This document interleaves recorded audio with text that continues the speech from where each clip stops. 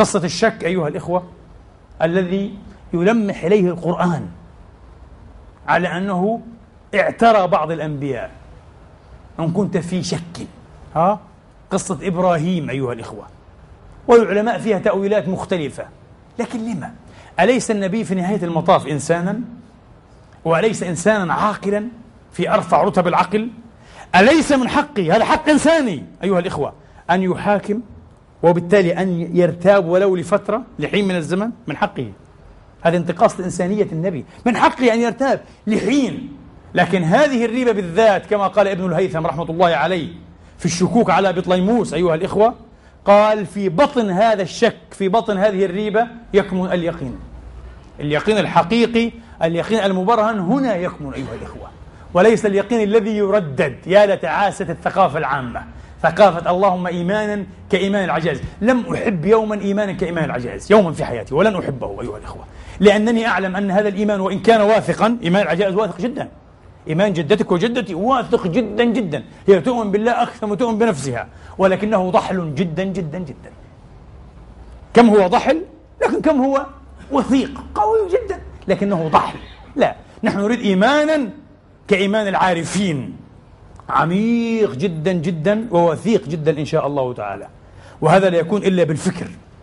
بعضهم قد يقول ولكن هذا أيضا مروي وبأسانيد عن أبي المعالي الجويني. وعن الفخر الرازي شيء من هذا القبيل أيها الإخوة هؤلاء من جلة علماء العقيدة يعني فلاسفة العقيدة هؤلاء. تمنوا حين كانوا على فراش الموت إيمانا كإيمان عجائز نيسابور. كلام فارغ. من ناحية إسنادية هذا كذب على أبي المعالي. لقد تتبعنا هذا إسناديا كذب. لم يثبت هذا عن الجويني أنه تمنى هذا الشيء. وحاشا لله حاشا لله أن يكون الجويني وهو شيخ حجة الإسلام الغزالي عبر عمره المبارك كله كان مغرورا أيها الإخوة ومخدوعا ثم انكشف عنه الغطاء لحظة موته. يعني فقط أصبح عاقلا وذكيا لحظة موته. لحظة واحدة أما طيلة حياته كان أشبه بالغبي. حاشا لله حاشا لله. لم يكن هذا شأن شيخ الإسلام إمام الحرمين. حجة هذا الدين. مستحيل. يقولون الفخر الرازي نفس الشيء القصة اللطيفة والتي توردها كتب العقائد وكم هي سخيفة. تظن لطيفة وهي في منتهى السخف أيها الإخوة. الفخر الرازي يمشي أيها الإخوة محمولا على الأكف والرقاب والناس محتفون به أيام احتفاء إذ أطلت عجوز. فقالت من هذا المحمول المحتفى به؟ قالوا هذا شيخ الإسلام الإمام فخر الدين الرازي. لماذا تحتفون به كل هذا الاحتفاء؟ عجوز لا تعرف عنه شيئا. قالوا لأن هذا الرجل وضع كتابا فيه ألف دليل على وجود الله. قالت ها حسن لو علمتم حقيقته لرجمتموه بالحجارة. لماذا؟ أيتها العجوز. قالت لأنه لو, لو لم يكن عنده ألف شك لما احتاج إلى ألف دليل. الله! نصرخ. حمقى. شو الله؟ هذه حماقة. هذا الكلام في منتهى الحمق. لا يمكن أن يسوق. أنا موقن مؤمن أن الفخر الرازي لو سمع هذه الحماقة لربما دبج ألف دليل في نقضه على التو رحمة الله عليه. ومن يعرف الرازي يعرف أنه قادر على هذا الفخر الرازي لكن أنا سأدافع عنه بعد مئات السنين من ورائه رحمة الله عليه. أولا هل يعني ألف شك أيها الإخوة أنها ألف شك وقعت لي شخصيا؟ زلزلتني؟ لا.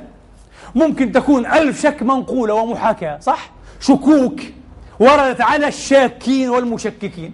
أنا أذكرها كمصنف في العقائد وأجيب عنها. واحد. هي أول جواب. مش شرط أن الفخر الرازي زلزل بألف شك. من أين هذا الكذب علي؟